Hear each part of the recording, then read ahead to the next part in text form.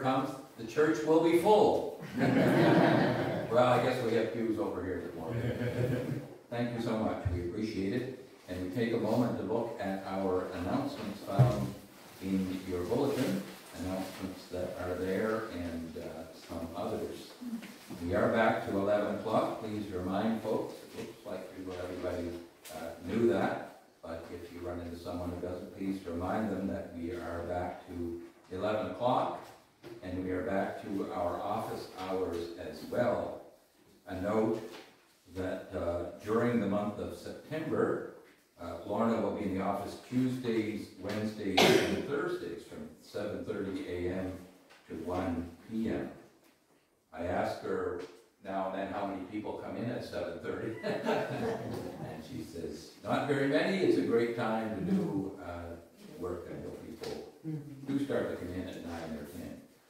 Will be there those hours, and I will most of the time be there from uh, Wednesday from 9 to noon. This week, though, I do have another meeting, so I'll be there on Thursday this week. So if you need to come in and see me or want to drop by, please do that on Thursday this week. And of course, any other time, uh, we can arrange to be together uh, at the office or at your home as you may need.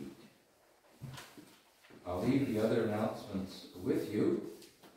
A reminder for folks who uh, usually attend the service that there is the, uh, the Legion service this evening at six o'clock at uh, Lakeside Cemetery, or the, I forget the official title of that, it's Decoration Sunday. Decoration Sunday, and that's where we uh, we commemorate, I think we have the little lamp, little lights that we take to the, to the grave site, so we appreciate that service each year, and we're grateful that the little bit of weather that uh, was coming through has come through and shouldn't affect that service this evening, so six o'clock. Also, Steve, if anybody's looking for candles for that candlelight service, Yep, I have them with me, so if anybody wants to see me at the church, I very I have good, them in the car. very good. They'll be probably available at the, They will be, be available out there tonight, yeah. very good, we appreciate that as well. The uh, renovation work has a number of aspects, and one that I'm sure you immediately noticed as you came to church today was that you could actually find a parking spot that was marked as a parking spot. You didn't have to guess how far away from the next car you'd be, so thank you to uh, Tom and Harry for painting the lines in the parking lot. I think, uh, I think the challenge might been to figure out how many handicap spots we needed, and I think that that was ideal number, a few right by the front door and some by the back door. So, uh, thank you to uh, those gentlemen for doing that as well. It's certainly, although we hire contractors for the specific work, uh, a lot of the work is done by uh, our members of the Terrence as volunteers. We never take that for granted, and we appreciate you doing that.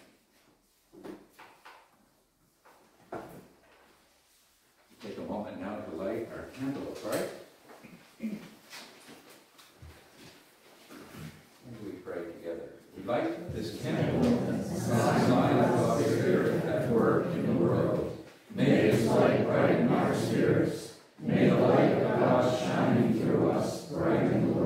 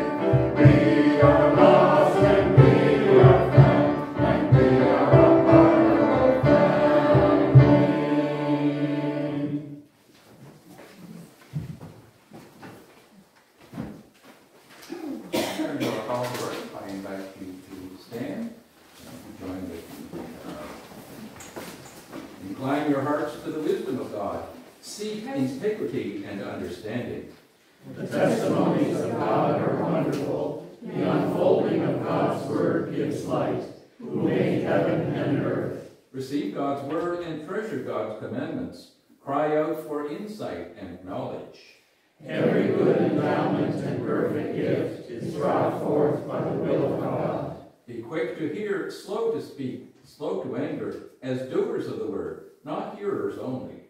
We seek to be redeemed from human oppression to a faith that is pure and undefiled. Let us worship God together. Please be seated. And please continue with me in our prayer approach. Open our eyes so we may clearly see the wonders of your creation. Release our tongues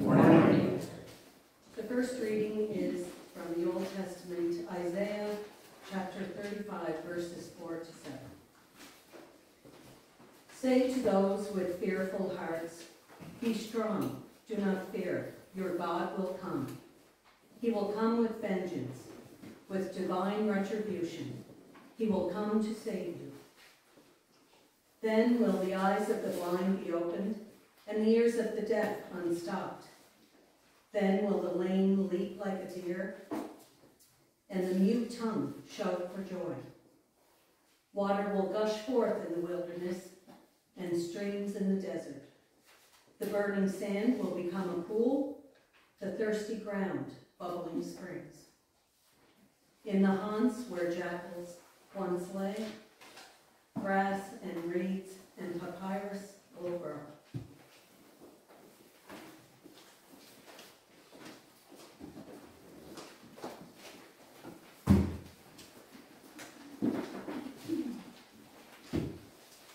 The uh, Hebrew Scripture readings continue with our responsive psalm today. Please turn with me to page 836 in Voices United, where you will find Psalm 116 and our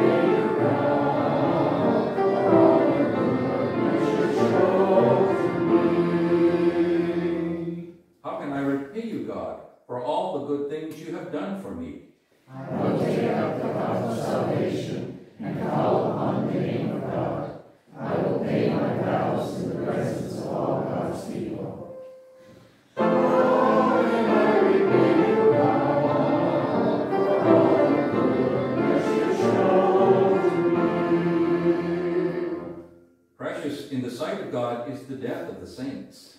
O God, I am your servant. I am your servant and the child of your maidservant. You have freed me from my bonds, I will offer a sacrifice of thanksgiving. and will call upon the name of God. I will pay my vows to God in the presence of all God's people. In the courts of the house of God, in your midst, O Jerusalem.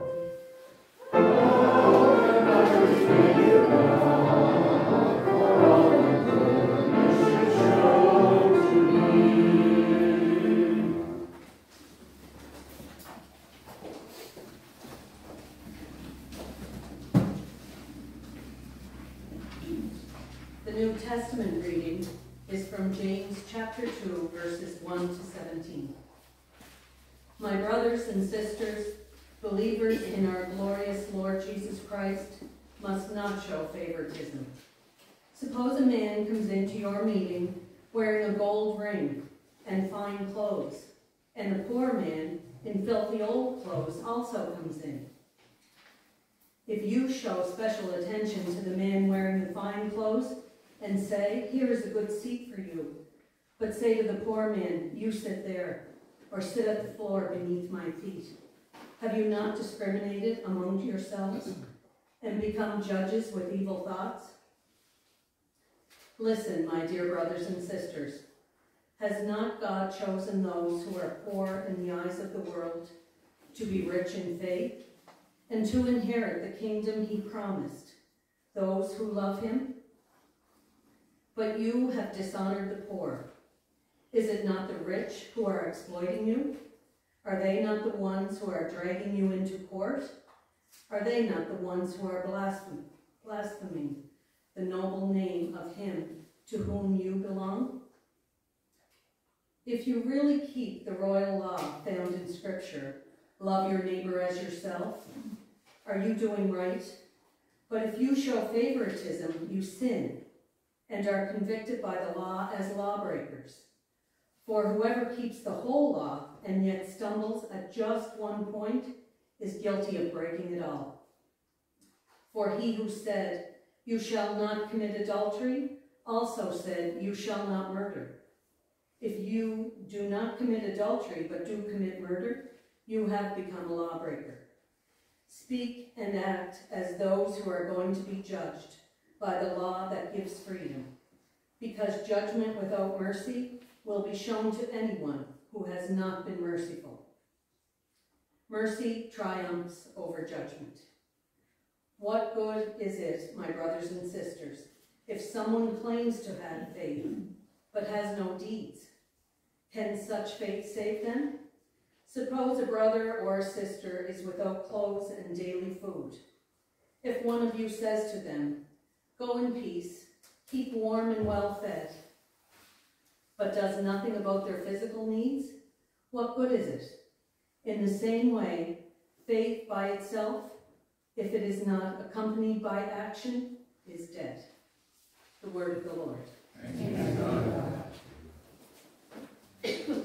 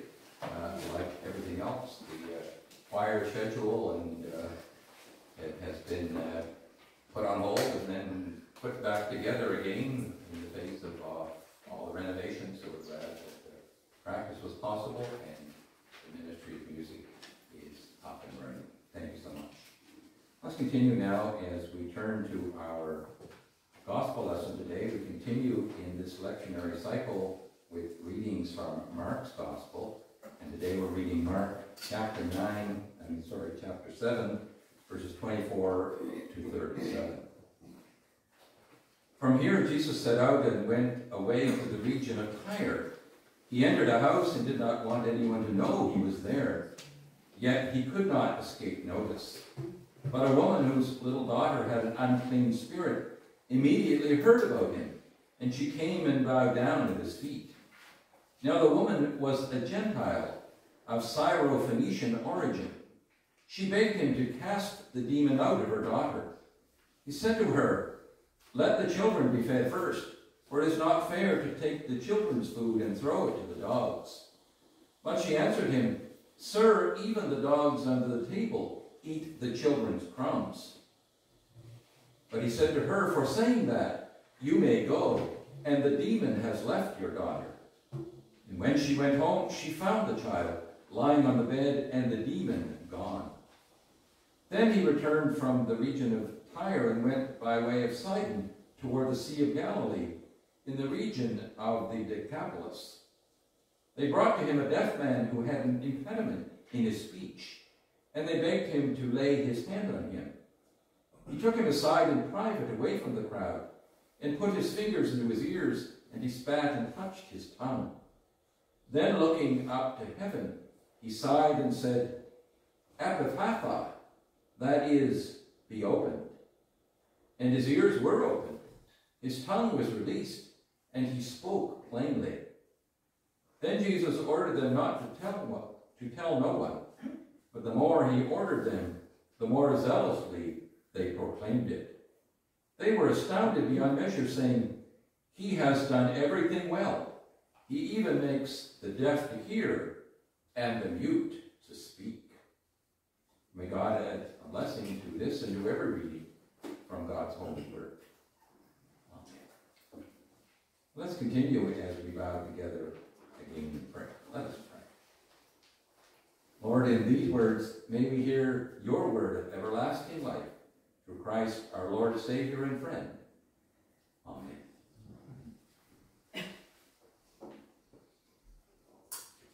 So faith by itself, if it has no works, is dead. They were astounded beyond measure, saying, He has done everything well. He even makes the deaf to hear and the mute to speak. Greetings again and welcome back to our regular church services after a particularly glorious summer season. The disappointment that comes when summer ends is, in Cape Breton at least, lessened by the anticipation of a wonderful autumn, regarded by many as the best season here. Not too hot, not too cold, fantastic autumn colors, the bounty of harvest, a week of amazing concerts and celebrations.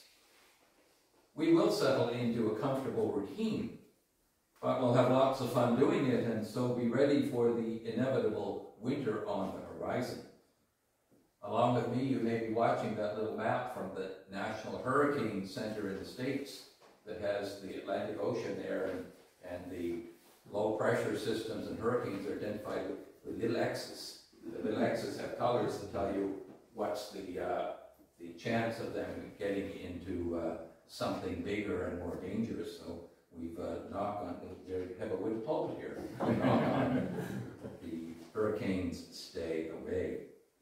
Our church here continues where we left off with the common lectionary. Yet you may have already noticed a bit of a change in the service order.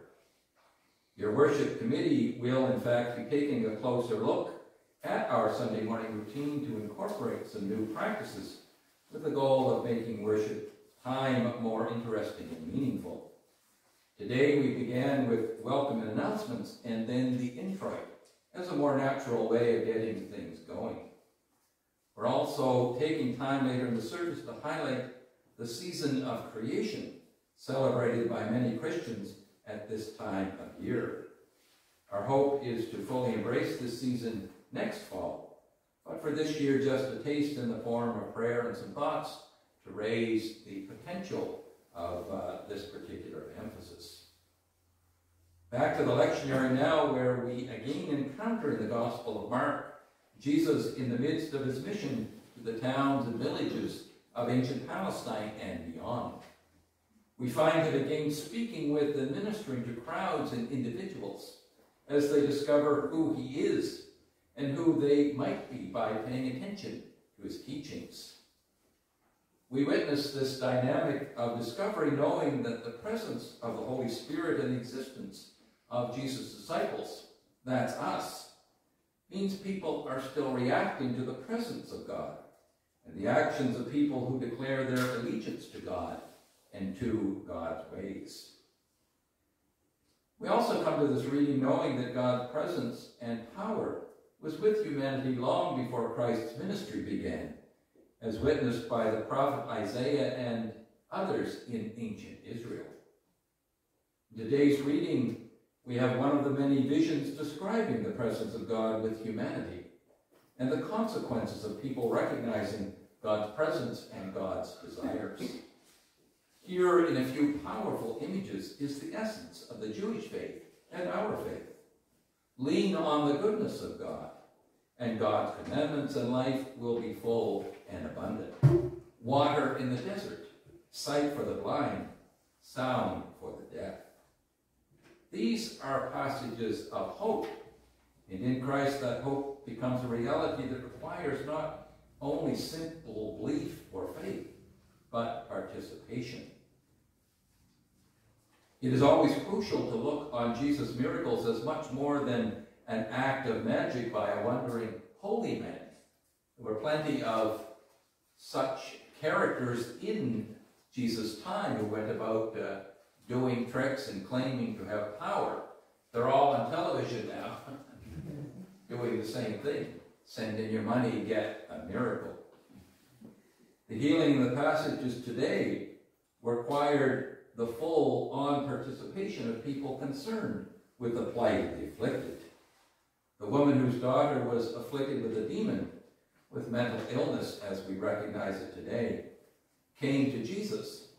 And as a non-Jewish person, she first received the reaction that a Jewish teacher would give. Well, what I have is, is for the Jewish people. You're not Jewish, so what do you expect? But the woman understood that what she expected was a reaction to her faith and to her love for her daughter. And of course, Jesus recognized it as well and told her such.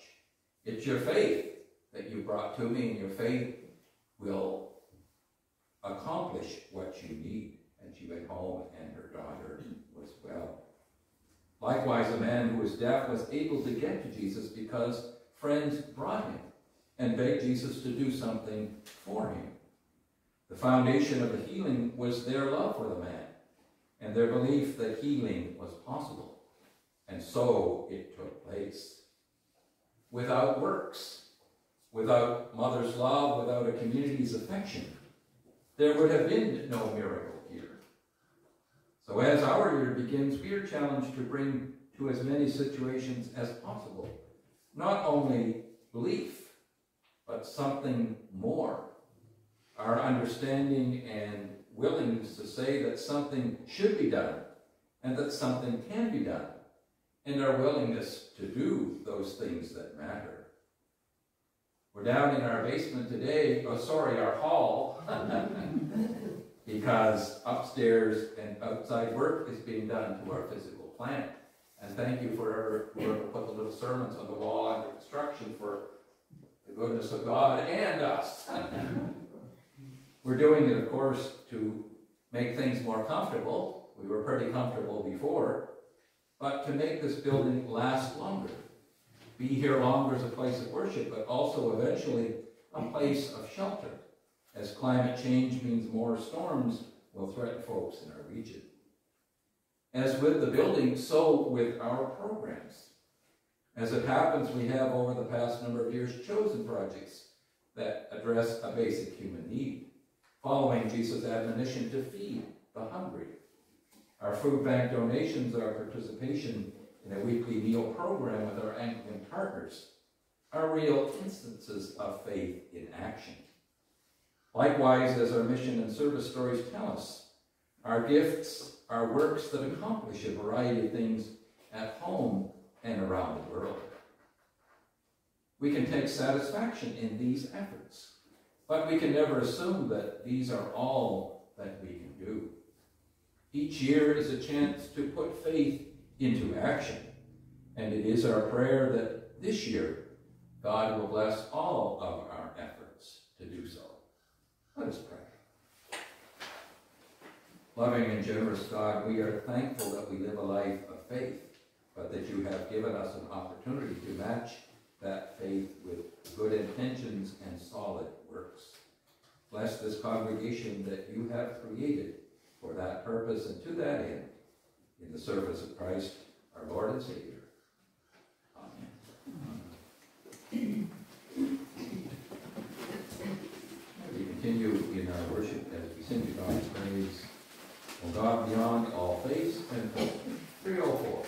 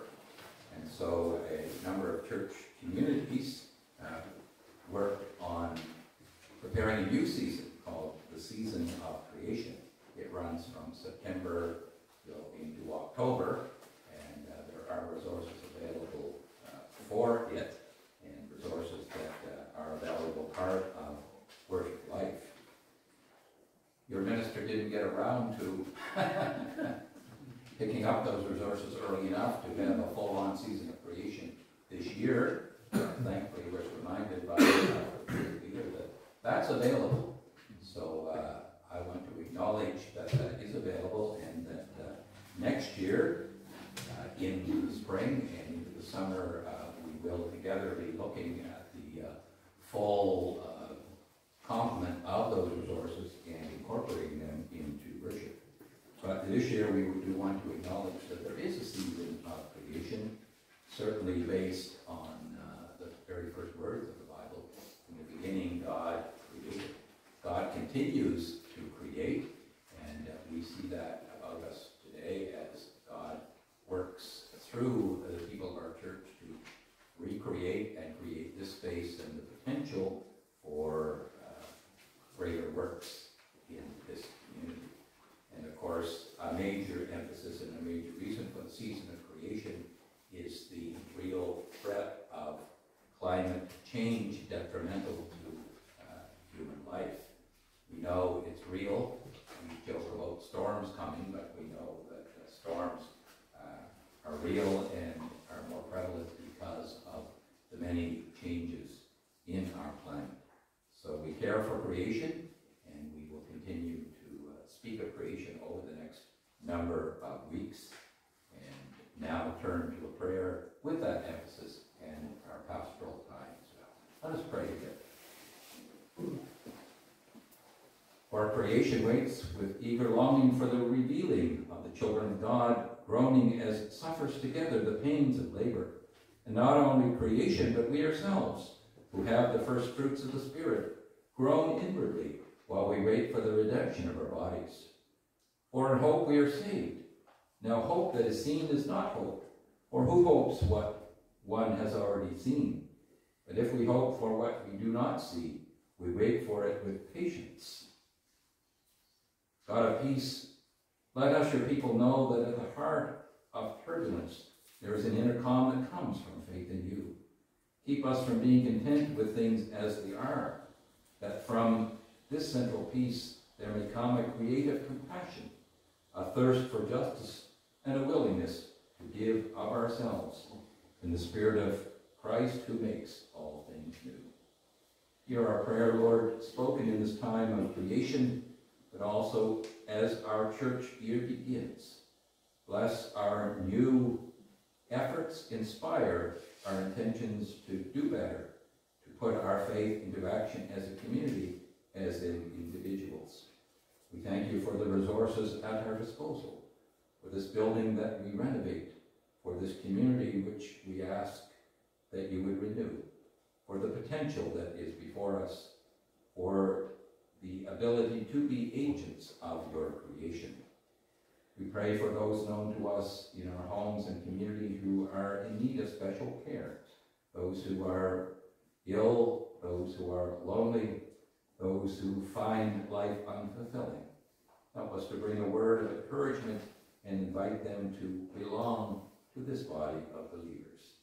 We pray for your wider world, for the places where there is war. We think of those who suffer daily, who live in fear and in sorrow. We ask that peace may come in Ukraine, in the Middle East, in the many places that we do not hear so much about, but where there is human suffering.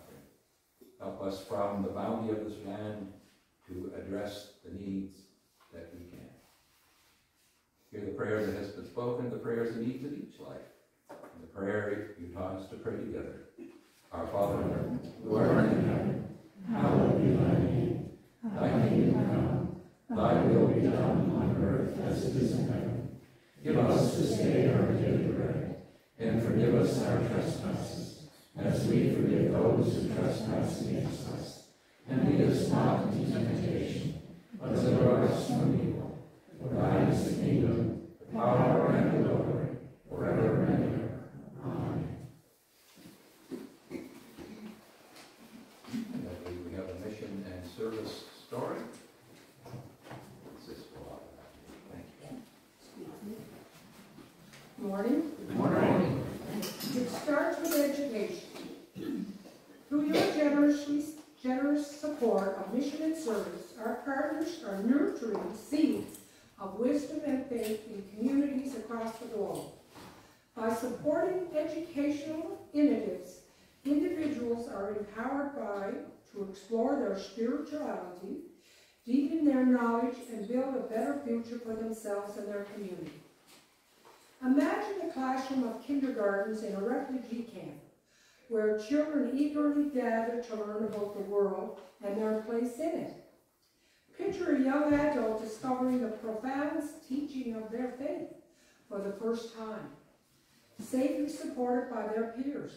Consider a group of parents and guardians gathering in a workshop, sharing their hope and dreams for their communities, guided by their mentors who inspire them to lead with compassion and justice.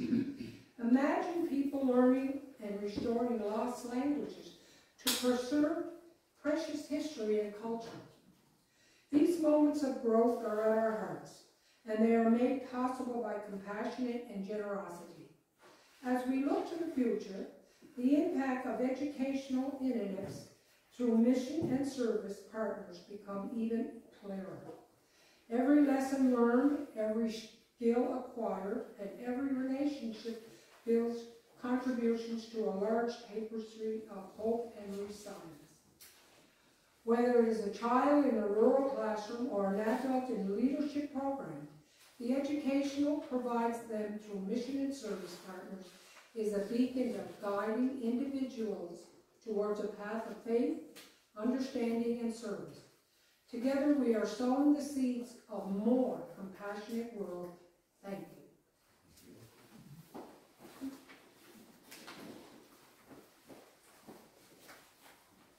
We are thankful for mission and service givings, for your regular support, for memorials and other ways that you remember the needs of your church.